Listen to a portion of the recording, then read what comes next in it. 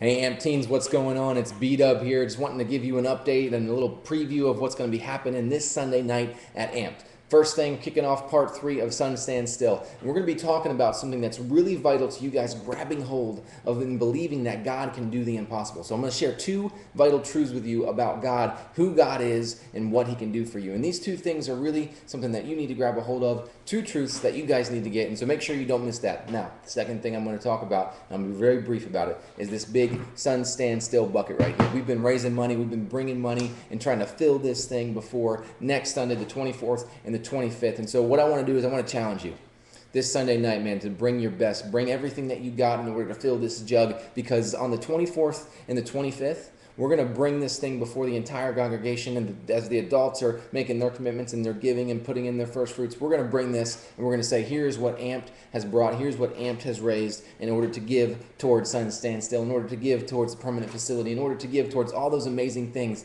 that God is wanting to do. So, my challenge to you this week is to go out there, uh, raise money, mow lawns, babysit, do all the crazy things, get audacious for God, and, and just bring your offerings, bring your best to God this Sunday night so that next Sunday we can bring an amazing offering and we can show the adults that we are ready to act in audacious faith to change the world in our generation. Guys, join me Sunday night as we, we kick off part three of Sun Stand Still. Join me as we continue to try to fill this jug for God and be audacious in our giving. And uh, just join me and bring a friend. And I'll hope to see you there at 5.30 at the YMCA. All right? See you.